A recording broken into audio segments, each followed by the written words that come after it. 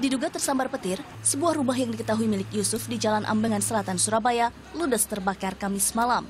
Api diketahui pertama kali setelah petir menyambar di sekitar kawasan rumah yang langsung membesar dan menghanguskan bangunan. Tadi kira-kira jam setengah enam kan ada petir tadi itu ya. Petir kemudian 15 menit kira-kira 15 menit, 15 menit kemudian itu ada asap putih. 12 unit mobil pemadam kebakaran pemerintah kota Surabaya dikerahkan untuk menjinakkan api dan melokalisasi api agar tidak merembet ke rumah lain. Dinas PMK Kota Surabaya masih mencari penyebab pasti kebakaran rumah yang digunakan sebagai kantor oleh pemiliknya. Hingga saat ini, kebakaran diduga akibat sambaran petir. Penyebab belum diketahui eh, karena rumah ini rumah kosong. Rumah kosong tidak ditempati. Ada warga yang mengatakan kemungkinan karena petir, tapi kami juga belum bisa menyimpulkan.